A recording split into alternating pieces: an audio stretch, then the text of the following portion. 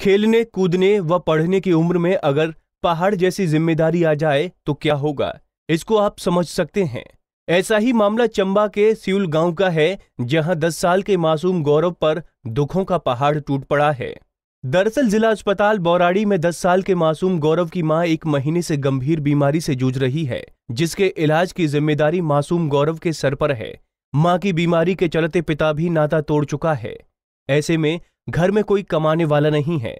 जिस वजह से जिला अस्पताल में तैनात फिजिशियन डॉक्टर अमित राय ने मासूम की पीड़ा को समझते हुए गौरव की पढ़ाई का खर्चा उठाने की ज़िम्मेदारी ली है। कमाने वाला कोई नहीं है हमारा कोई नहीं है। बहन एक छोटी आठ साल की है। मैं दस साल का हूँ। हमारा कोई नहीं डॉक्टर साहब ने कहा था।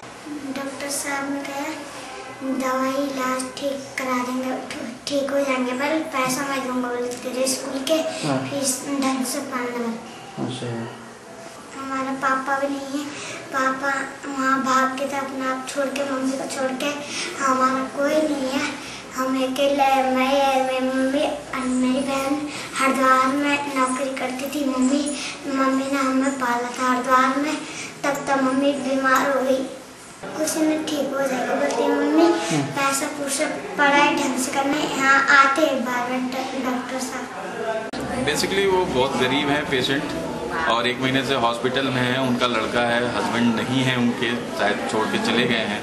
लड़का काफ़ी होनहार है तो मैंने एक दिन देखा तो मैंने इसी इनिशिएटिव ये लिया कि भाई, पढ़ने नहीं जाता है। तो मैंने कहा कि मैं जो भी होगा, हमारी तरफ़ से मदद फैमिली की तरफ़ से, हमारे, मेरी वाइफ की तरफ़ से हम करने के लिए तैयार हैं। चाहे वो पढ़ने का फ़ीस का खर्चा हो, जो है, जब तक मैं हूँ, मैं उठाने के लिए तैयार हूँ।